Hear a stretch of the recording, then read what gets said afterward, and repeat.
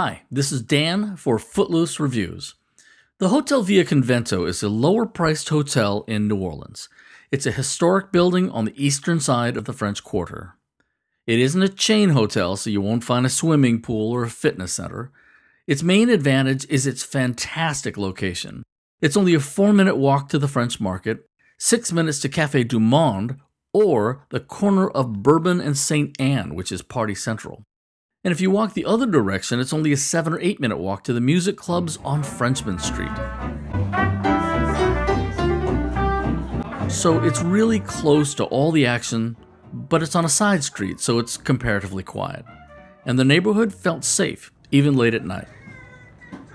Here's the front desk. We were there for four nights starting on New Year's Eve. Animals other than service animals are not allowed, and full payment is required in advance. The building dates back to 1833, so it's an old building, and it feels like it. But if you ignore the electrical conveniences, you might find yourself imagining yourself a hundred years in the past when a young Louis Armstrong was playing in brass bands on New Orleans riverboats.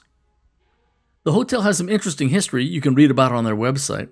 Some people say the hotel is haunted, but our visit was untroubled by any sort of spectral visitation. Here's our room. It's a standard room with balcony overlooking the street. You can see the TV, ceiling fan, and air conditioner at the top of the screen. The AC cools the room just fine, but it's loud. There's a queen size bed. The mattress was comfortable on the soft side. There are two nightstands with lamps and two mirrors. There's the sink. There are actually seven electrical outlets in this room, so you'll have no trouble charging multiple devices. And the bathroom. You can't see them in this shot, but there are two grab bars in the tub for your safety. In the shower, the water pressure and temperature can vary unexpectedly. Soap is provided, but no shampoo, lotion, or conditioner, shower cap, razor, or hooks for hanging things. The hotel provides just two fairly thin bath towels, two washcloths, and a hand towel. There's a small hair dryer that worked just fine. The picture on the TV would go out sometimes, but you probably aren't coming to New Orleans to watch TV. They offer basic cable like CNN and ESPN, as well as local broadcast channels. Our room also had an air purifier, one luggage stand, an iron and ironing board. There's an antique dresser but the drawers stick a bit and was missing one pull. The door has a deadbolt and chain as well as a peephole. That switch turns on the power for the ceiling fan.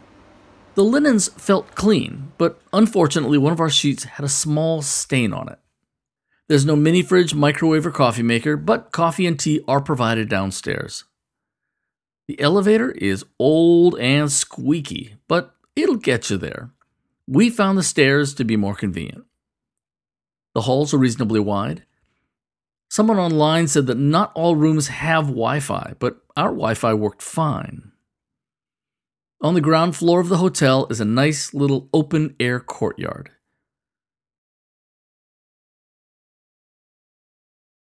Just off the courtyard is also an ice maker and vending machine. Here are the sorts of things you'll find in the machine.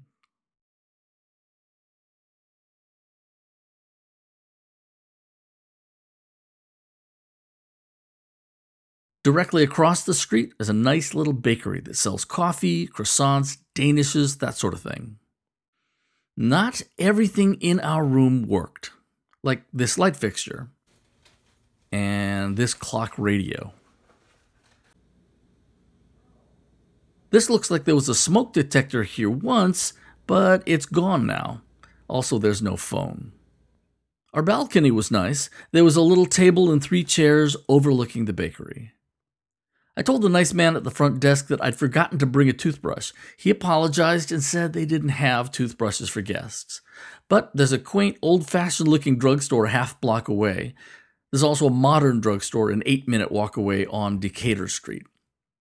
A block and a half away from the hotel, there's a laundry that, if you drop off your clothes in the morning, will wash your clothes and even deliver them to your hotel that evening. One of the best things about the hotel is the people who run it. We emailed the staff questions before we arrived, and they gave us a detailed and personal response. They held our luggage after checkout on our last day and arranged for our transportation to the airport. Bottom line, based on our room, I must say the Villa Convento is, to be frank, a shabby old hotel. But one person's shabby is another person's quaint or charming. I can't recommend it for the average traveler, but the hotel has three great things going for it. One, its excellent location, two, the moderate price, and three, the good people who run it. Okay, happy travels.